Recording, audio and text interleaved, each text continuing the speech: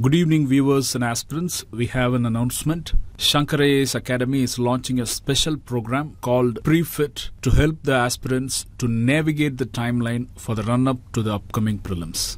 Before we describe the program, know that the entrance exam for joining this new initiative will be conducted online on 7th February 2021. Now, in this program, the Academy will provide a micro schedule that is broken into monthly targets, weekly targets, and daily targets. The program will provide high intensity interval training for prelims. It will help you not only to complete the syllabus but also to enhance your skills in solving questions. It is modeled on the scientific principle of active recall and spaced repetition so as to ensure maximum output. The participants will solve around 4000 questions in the period from February 15 to May 16. In the training, the participants would be given 50 questions on a daily basis on 6 days in a week.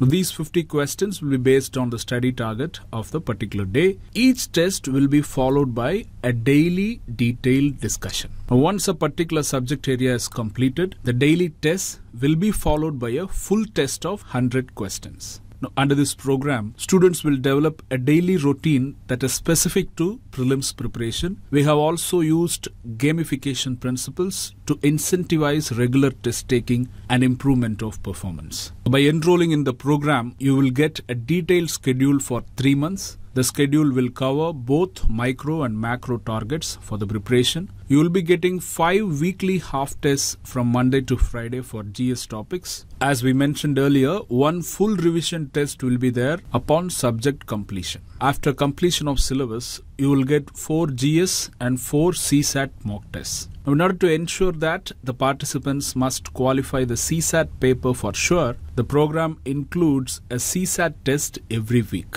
Now, this test will be of 50 questions. In addition to this, you will be given access to detailed solution and discussion upon completion of each test. Now, to understand where you stand, there will be a daily and monthly leaderboard. For the assessment of performance, Shankar IAS proprietary test analytics will also be shared. See, the program also covers current affairs as Prefit divides current affairs of past one year into monthly or weekly and daily targets. Now, these targets will be covered across multiple tests. Now, know that this is a totally different program from that of pre-storming prelims test series of Shankar IAS Academy. Now, if you have already registered in pre-storming and now you say you are enrolling in pre-fit, then the tests that you are taking under pre-fit, these are in addition to the tests that are taken under pre-storming. The link for the brochure and the detailed schedule is given in the description and also in the comment section. Now, how does this program pre-fit work? See, firstly, an entrance exam will be conducted on 7th February 2021. The syllabus and other details of the examination will be provided to you today, that is 1st February 2021. The entrance exam will be conducted online and it will have a registration fees of 99 rupees. Now, candidates who secure top 100 ranks will be eligible for pre-fit Prime. Now, under this, the top 100 rankers will be given 50% subsidized monthly fee structure of rupees 750 plus GST. Students other than Prefit Prime, they will have a monthly fee structure of rupees 1500 plus GST. Now, subsequent months of access to Prefit Prime will be subject to securing a position in the top 100 in the previous month. Now, students who secure a position in Prefit Prime will be eligible to avail 25% discount on Mainstorming 2021 upon their qualification of Prelims 2021. Now, for more details, please visit the links given in the description and also in the comment section. With this, let's move on to today's analysis. These are the list of news articles selected for today's analysis and their page numbers in different editions of the newspaper. The link for the handwritten notes in the PDF format and the timestamping of the discussed articles are provided in the description and also in the comment section for the benefit of mobile phone viewers. Now let's move on to the analysis of first news article. This news article is about the threats that are posed by aging dams in our country. The article is written by the Director of Central Water Commission. Let us see this article in detail. The syllabus relevant for the analysis is highlighted here for your reference. Now, as we know, with water becoming scarce resource day by day, it is essential to keep our water resources or water infrastructure in the best possible condition. It is important to know that because of the importance of dams and reservoirs, the first Prime Minister, Sri Jawaharlal, has called dams as the modern temples of India. Dams are part of major infrastructure component of water resources. They play a very important role in providing overall water security to the country. See, in the last 50 years, India has made substantial investments in dams and related infrastructures, and India ranks third after United States and China in terms of the number of large dams. And as per the National Register of Large Dams, around 5,254 large dams are in operation in the country currently, and another 447 are under construction. In addition to this, there are thousands of medium and small dams. The author states that as India's dams are aging, the reservoir water is being replaced by silt or sediment. And around 1100 large dams have already reached 50 years of age and of them some are older than 120 years. Here the worrying fact is that the number of such dams is set to increase to 4400 by the year 2050 so almost 80% of large dams in the country will be aged over 50 years to over 150 years by the year 2050 now let's see why this has become a cause of concern or why is it dangerous. See, our population is growing at a steady pace. With that happening, water security has become an issue of concern for all of us. In addition to playing a major role in development of the country in providing food and energy security, dams are also talked in connection with safety aspects as well. So it becomes our prime responsibility to ensure safety of dams so as to drive out any apprehension or concerns from the mind of the people. See, while safety of lives and property of people in the vicinity of dams is paramount importance, dam safety assurance is also important in terms of protection of investment and also with intended benefits, which is the water security for the entire country. So when we discuss about dams, these aspects come into play. That is safety of lives and property of people in the vicinity of dams. Then about investment opportunities. Then about the intended benefit of water security overall. So now let us see some important facts that are given in the article. One is with reference to Krishna Raja Sagar Dam, which was built in the year 1931, and then about the Mettur Dam constructed in 1934. These reservoirs are located in water scarce Kaveri River Basin. Now, the sedimentation is the challenge here, as over the years it has reduced the storage capacity of dams. And as per a 2003 report, if you take Bhakra Dam in Himachal Pradesh, the observed siltation rate is around 140% higher than originally assumed. Similarly, the actual siltation rate, if you take for Hirakud Dam, it is higher at 141%. If you take Maithan Dam, it is around 808%. Then Ghod Dam is around 426%. Maithan Dam is in Jharkhand and Ghod Dam is in Maharashtra. Studies also show that the design of many of our reservoirs is also flawed. With sedimentation happening, siltation happening, and with flawed structure, if you take the Bhakra Dam, it was originally expected to function for 88 years. Because of these issues, its function is cut short for just 47 years. So it is clear that the storage space in Indian reservoirs is receding or dropping at a rate much faster than anticipated. Therefore, many of our reservoirs could become extinct in the coming decades, and this will severely negatively impact the irrigated crop area. With less water, the net sown water area would also shrink, and this will also reduce the crop yield. And this will have huge impact on farmers' income and also on food security and the flawed siltation rates will also result in more frequent floods in the downstream area of dams. Some of the example we can say with reference to Bharuch floods in Gujarat in 2020, in Kerala it was witnessed in 2018, and in Chennai it was seen in the year 2015. So these are some of the reasons why we have to take care of the aging dams. One, for water security purposes overall, then safety of dams so that people living in the vicinity and downstream need not worry about their lives and property so that these dams can function as wheels of development in giving food and energy security. Now let's move on to the analysis of next news article.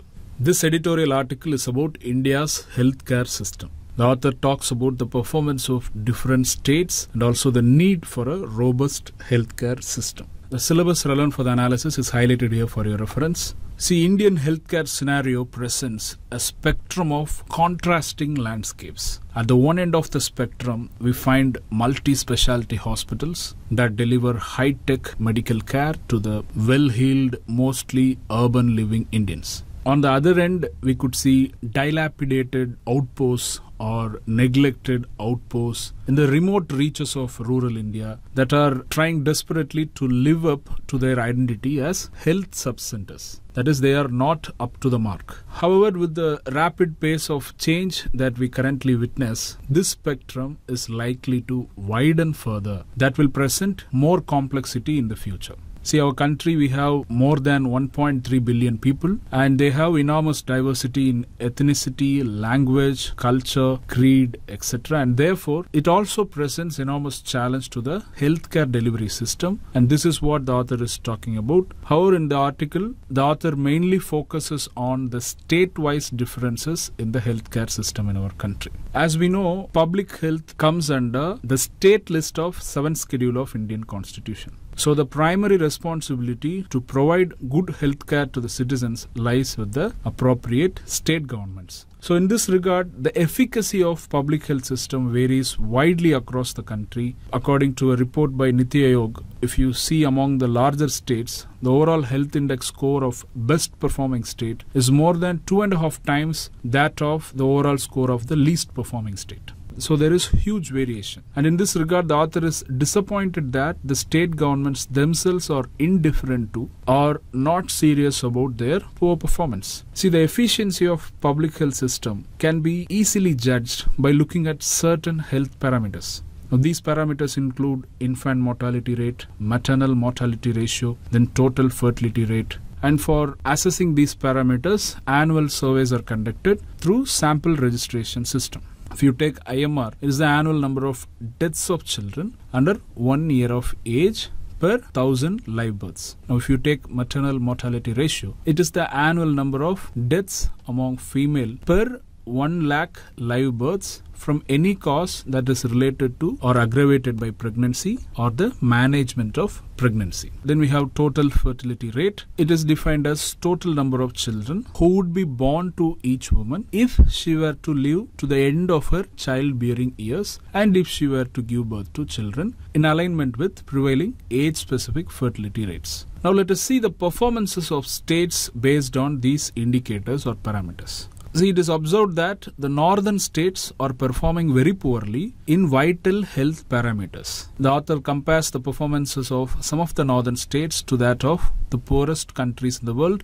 and it is because of these poorly performing states in our country, the health rank of India in the world is also very low. For example, take Madhya Pradesh, infant mortality rate is as high as 48. If you take Kerala, it is 7. Then come to Uttar Pradesh, the maternal mortality rate is 197. In Kerala, it is 42, whereas in Tamil Nadu, it is 63. And if you come to Bihar, the percentage of delivery by untrained personnel is very high. In fact, it is about 190 times higher than that of Kerala. Also, the total fertility rate is very high in Bihar in contrast with the stabilization rate of 2.1. See, high total fertility rate is one of the major manifestations or consequences of poverty. How can we say that? See, it is simple. People tend to have more children on the hope that their children will help them to earn a better living when they grow up but this turns out to have only negative consequences. How? See, it will reduce the savings of parents. It will affect the home economy as now economy has to be shared with more persons, particularly in material aspects. Also, the parents won't be able to give good education and health care to their children because of poverty. And this will result in even more poorer condition of the family. So, this phenomenon can be attributed as a vicious cycle of poverty. Now come to the southern states where Tamil Nadu and Kerala they have done well in terms of total fertility rate related aspects. As a result of this, their population is set to decline over the years, and this has been made possible because of effective maternal and child health and family welfare services provided in these states. Then the author takes the example of Tamil Nadu to show how southern states were able to achieve one of the best healthcare systems in the world. While we hail these states as best, these states also do have some lacunae. However, let's focus on the merits of these states. Firstly, they have an enlightened political leadership who are interested in the health and well being of the people.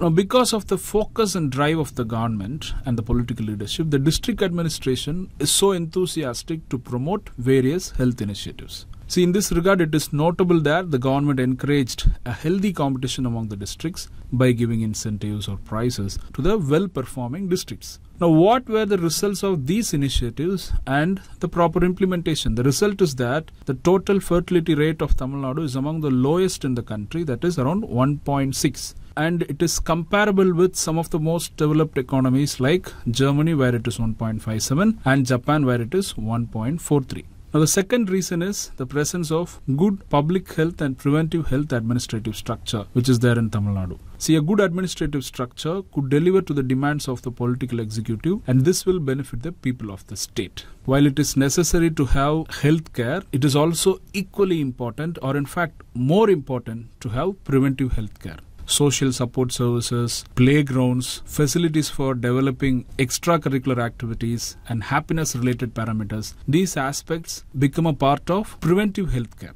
Now let us see what the author has to tell regarding India's failure to give healthcare the required importance. First is that the central and state governments are not giving adequate importance to public health system. The author notes that there have been strong demands to strengthen the health system, particularly the public health system, so that the country is better prepared to handle health emergencies like COVID 19 in the future. Secondly, the author doubts whether India will be able to achieve Goal 3 of Sustainable Development Goals set by the United Nations General Assembly in 2015. This is due to the poor performance in the healthcare system. Goal 3 pertains to good health and well being, and it is important to note that India failed to achieve the earlier Millennium Development Goals of UN in terms of health, mainly because of poor performance of northern states. Now, what are the suggestions provided so as to improve the healthcare delivery in India? So, one is that public health setup, poor performing states or in least performing states must address primary and preventive health. Here, persistent and focused efforts are needed at the highest level of government. The governments, both at the center and at the states, which are called as empowered action group states, they should realize that public health and preventive care are a priority and they should take steps on par with the southern states. And the least performing state should be held accountable with reference to realizing SDG targets. Secondly, much investment has to be made in human capital, meaning investment in health and education, which are the primary responsibility of any government. Thirdly, both the center and the states should give adequate due importance to health and each state government must focus on public health and aim to improve the health indicators so as to improve their position in comparison with other states and also to elevate India's position in health at the global level. So these are some of the important points with reference to the analysis of this editorial. Now let's move on to next news article. Now this news article states that a group of conservationists have raised their voice against a plan of Niti Aayog with reference to Little Andaman Island in the Andaman and Nicobar group. It is said that uh, Niti Aayog has developed a plan for the sustainable and holistic development of the environmentally fragile Little Andaman Island. In this context, the draft vision of Niti Aayog reportedly states that the sustainable development here will be done along three development anchors and zones. The zone 1 will be financial district and medical city. It will also have an aero city and also a tourism and hospital district. The zone 2 which now has over 85 square kilometer of pristine forest will become the leisure zone which will have a film city, residential district and also a tourism special economic zone. At zone 3 where again there is pristine forest will be a nature zone. It will be categorized into an exclusive forest resort, a nature healing district and a nature retreat all lying on the western coast. There are also planned to have underwater resorts, casinos, golf courses, convention centers, plug and play office complexes, a drone port with fully automated drone delivery system, nature cure institutes, and more similar infrastructure. And also an international airport which is capable of handling all types of aircraft. Also, a new greenfield coastal city would be built and that to be developed as a free trade zone and will compete with Singapore and Hong Kong. In this context, let us have a brief understanding about the geography of Andaman and Nicobar Islands as a whole. As we all know, Andaman and Nicobar Islands is Union Territory of India. It consists of two groups of islands which are situated at the southeastern edge of Bay of Bengal. They are actually peaks of a submerged mountain range. Here, Andaman Islands and the Nicobar Islands they form an arc stretching southward for some thousand kilometer we could see between Myanmar and the island of Sumatra of Indonesia. This arc constitutes the boundary between the Bay of Bengal to the west and the Andaman Sea to the east.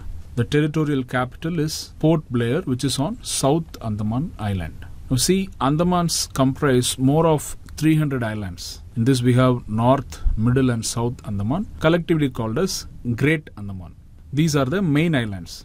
Other islands include Landfall Island, Interview Island, Sentinel Islands, Ritchie's Archipelago, Rutland Island. Now we have Little Andaman in the south. This is separated from Nicobar Islands by the 10 degree channel. This channel is about 145 kilometer width. Coming to Nicobar, it consists of 19 islands. Most prominent we can say Car Nicobar in the north, Kamorta, Kachal, Nancowry and Great Nicobar in the south. And know that within 45 kilometer northeast of North Andaman, we could see Myanmar, and in about 160 kilometer to the southwest of Great Nicobar, we could see northwestern tip of Sumatra of Indonesia. Now coming to climate, see the climate of Andaman and Nicobar Islands is tropical but moderated by sea breezes. Because great majority of the area is covered with dense tropical forest, we could see a broad spectrum of flora and fauna here. Now coming to people in Andaman Nicobar, know that the population here could be divided into two groups. That is, the population in Andaman Nicobar Islands could be divided in two groups. Non-tribal population, then the tribal population. Now the non-tribal population, they came to Andaman Nicobar when the British colonized these places. British colonized Andaman Islands in 1858 and in 1869 they colonized Nicobar Islands. Now let's come to the tribal groups. See the Andamanis and Nicobaris can be split into two broad tribal groups. This is mainly based on their place of origin. Andaman Islands are home to four Negrito tribes. Example Great Andamanis, Onge, Jarawa and Sentinelese. See Nicobar Islands, these are home to two Mongoloid tribes. Example Shompen and Nicobaris. And know that of these, Great Andamanis, Jarawas, Onge, Sentinelese, Shompens, all these five tribal groups are part of particularly vulnerable tribal groups who were earlier called as primitive tribal groups from the Andaman and Nicobar Islands. So these are some of the information with reference to the analysis of this news article. Now let's move on to next part of the discussion. This editorial article talks about the ongoing political instability in Italy and how it may affect the fighting of the pandemic. The syllabus relevant for the analysis is given here for your reference. See, the article talks about the recent resignation of the Italian Prime Minister, mainly because of a rupture in the coalition. It is reported that the resigned Prime Minister found it tough to manage the infighting and the waves of criticisms that came from his coalition partners. Now, this has brought the discussion about coalition governments and how far they give stability to a particular country or a particular region or a subnational entity. See, political instability is not new to Italy because in the last 70 years, Italy had seen more than 65 governments. In India's neighborhood, we could see it in connection with Nepal. Now, come to Italy. Now, the political instability in the present times is considered difficult because of the ongoing struggle to arrest the coronavirus infections. Now, as we know, so far around 85,000 Italians have died because of the virus, and the nation continues to report deaths each day. And Italy is also one of the first nations in the Europe to face the full force or the evil face of COVID-19 pandemic and it has suffered badly. At this juncture, the political instability is seen as one another fatal blow in the efforts against the fighting of the virus. One more issue, in fact, it is an issue that is also passed as criticism in the coalition politics with the resignation of the Prime Minister. That is, the vaccination program, which was introduced in Italy recently, is criticized for being slow. However, the government quotes that the vaccine manufacturer Pfizer is the reason behind the slow pace. And with these difficulties and with the failure in controlling the virus spread, many parts of Italy are still under lockdown. Now, talking about Italian economy, already it has been facing various challenges. Now, with the pandemic, the situation has become even worse. Now, this has led the Italian economy to plunge or to fall into a recession, and as per estimates, it is said to have contracted by 8.9% or almost 9% last year, that is in 2020.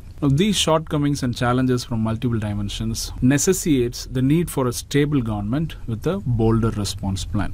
So, with the resignation of the incumbent prime minister, what can happen now? See, as per the present political scenario, the president may ask the resigned prime minister to form another government, or the president may give the position to someone else who has or who commands a majority support. And if in case no party manages to get a majority in the national legislature, then the president would call for fresh elections or snap elections or early elections. Now, when you look into the recent happenings in Italy, there were mentions of dispute among the members of coalition government in spending the European Union virus fund so as to tackle the virus outbreak. So, in order to help repair the economic and social damage caused by the pandemic, the European Union have agreed on a recovery plan so that Italy would come out of the crisis and also in the broader regional perspective of having a modern and more sustainable Europe. So we have to see how things will unfold in the days to come. Now know that Italy serves as a member of the European Union and also as a member of North Atlantic Treaty Organization that currently has 30 countries. NATO was founded in 1949 to provide collective security against the threat posed by the then Soviet Union. So these are some of the information with reference to the analysis of this editorial article. Now let's move on to the analysis of next news article. This news article talks about the issues faced by the health sector, particularly in connection with maternal and child health in our country. In January 2020, the Union Cabinet approved the Medical Termination of Pregnancy Amendment Bill 2020 so as to amend the Medical Termination of Pregnancy Act 1971. Now, this bill was passed in the Lok Sabha in March 2020 and it is yet to be tabled in Rajya Sabha. Now, before going into the article, let us see some salient features of the bill. See, at present, abortion requires the opinion of one doctor if it is to be done within 12 weeks of conception and requires the opinion of two doctors if it is to be done between 12 to 20 weeks. The bill proposes to allow abortion to be done on the advice of one doctor up to 20 weeks and two doctors in case of certain categories of women beyond between 20 to 24 weeks. Now, this special category of women include vulnerable women who include survivors of penetrative sexual assault, victims of incest, and other vulnerable women, for example, differently abled women. The bill also says that the upper gestation limit will not apply in cases of substantial fetal abnormalities which are diagnosed by medical board.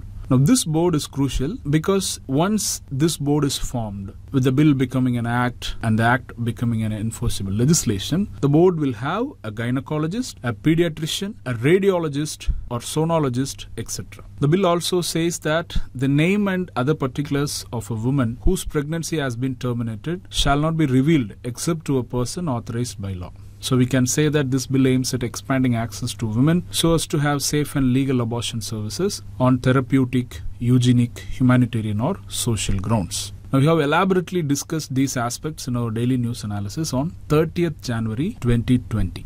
See, the government states that the amendment will be a step towards safety and well-being of the women, and many will be benefited by this. The proposed increase in gestational age is set to ensure dignity, autonomy, confidentiality, and justice for women who need to terminate pregnancy. Now, come to the news article. As we saw, the medical board will have a gynecologist, radiologist, or sonologist, a pediatrician, and other members to be prescribed by the appropriate government. Now, this board will decide on pregnancies beyond 24 weeks in cases of fetal abnormalities. The article states that this will not be feasible because 82% of posts related to obstetrics, gynecology, pediatricians, and other related posts are lying vacant in our country. A recently conducted study finds that from 2015 to 2019, the shortfall in these posts varied between 71% to around 82%. In 2019 alone, there was a shortfall of 82%.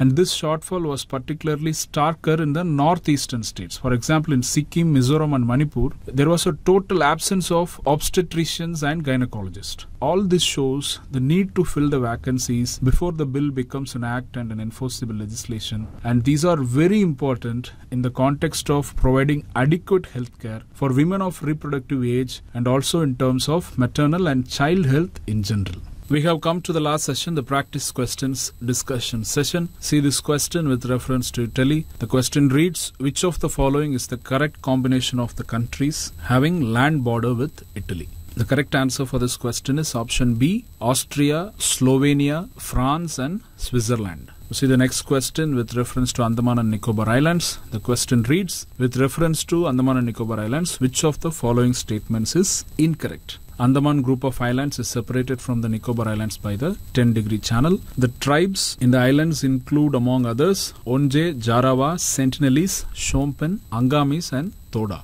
Andaman and Nicobar Islands are actually the peaks of a submerged mountain range. Myanmar is the nearest country to Andaman and Nicobar Islands. The correct answer for this question is option B because it is the incorrect statement. We know that Onge, Jarawa, Sentinelese, Shompens are part of these islands, but Angamis and Todas, they are tribal groups of mainland India. If you take Angamis, they are a major Naga ethnic group native to the state of Nagaland, and Todas we could see in the Nilgiris. The correct answer is option B. We have given two practice mains question in GS paper 2. You may practice writing answers to these questions and post them in the comment section. With this, we come to the end of today's The Hindu News analysis. If you like the video, click the like button, comment, share it among your friends and those who are in need of such resources, and subscribe to Shankar IAS Academy YouTube channel for more updates and content on civil service exam preparation.